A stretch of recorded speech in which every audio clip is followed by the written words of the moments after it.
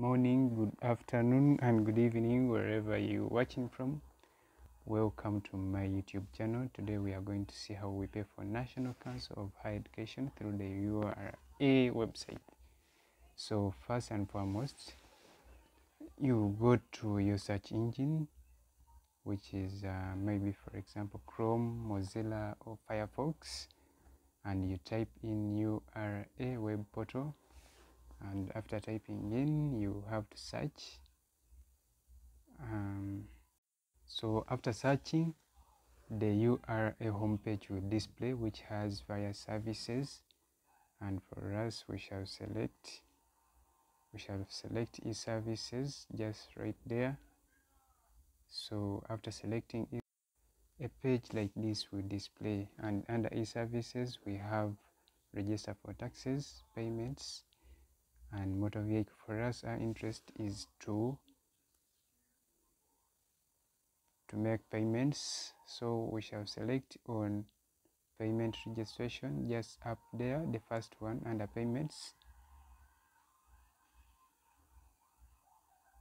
So when you select on it we shall go where there is tax head where we have NTR tax type and other NTR so we shall select we shall select um, other NTR just right there. So after selecting our next part will be to fill in the taxpayer details.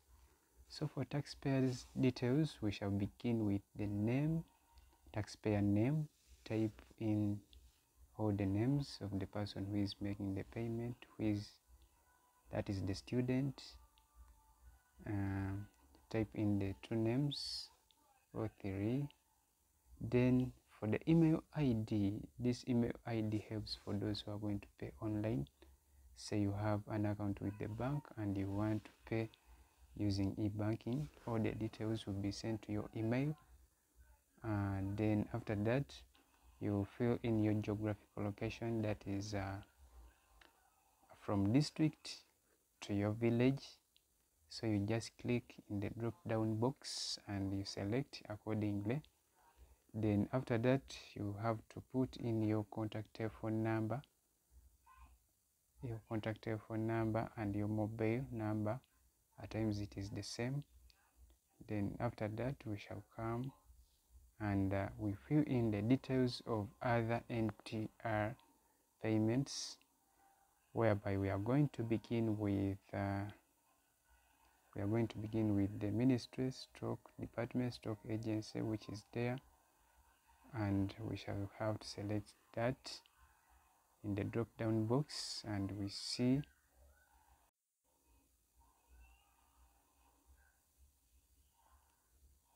we shall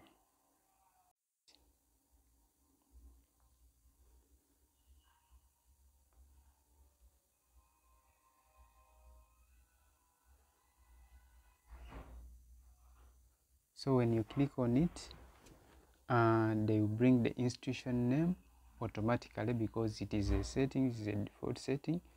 So you will have to put in your institution name in that box right here institution. So let's say this is Makerere University. So you have to type in. So after typing in Makerere University don't mind about the amount. First leave the amount. Come down here where there is fees calculation where they ask for number of students number of students simply means the number of years you're paying for. Remember this is an annual payment. You pay it once a year. So number of student means number of times. So if it is one you type in one and after typing in one the amount that is charged per one student will automatically reflect here and the total amount will be multiplied by the number of times that someone is paying. So in this case it is 1 so 1 times 20 the final amount is 20,000 and even the amount up here will have to come automatically after filling in that you come to identification details and you click in that drop down box just here. So uh, they provide many um, identification details different proofs that you can use national id employment id number so for this case since most of us have uh, national ids you have to click on national id and then you come and type your identity number here that you have used uh, for those ones who have.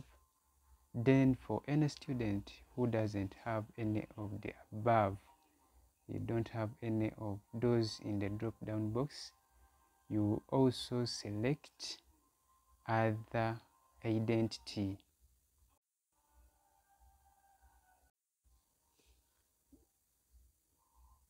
As I said for students who don't have uh, any of the above you're going to use your you select other identity and you have to type in your registration number here. So it will act as your identity number. So with that being done you have to come down to this box which says enter text from the given image. So you have to copy you have to copy this text and type it in this box. You have to copy that text. As you see this text the way it is and you type it in that box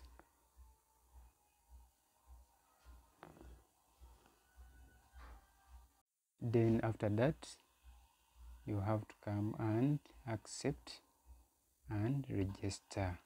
Accept and register. So when we accept and register we shall receive uh, a message which is, which is from uh, the URA which says please note that you are about to register a payment under domestic taxes this payment cannot be used to clear taxes incurred at importation. If you wish to make a payment for customs purposes please select cancel and contact your nearest customs office for further information.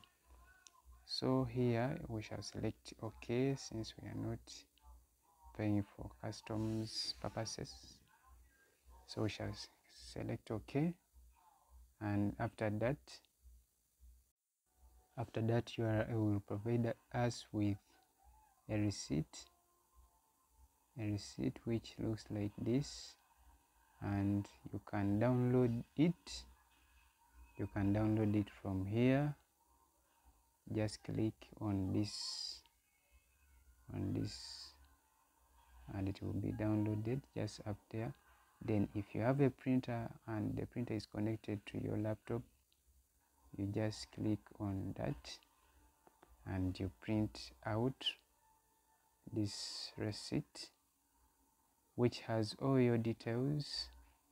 This receipt has uh, as you can see it has the name it has the geographical location and it has the amount that you're paying it has the university and uh,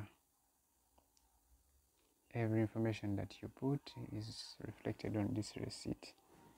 So it is this receipt that you take to the bank so that you can make your payment.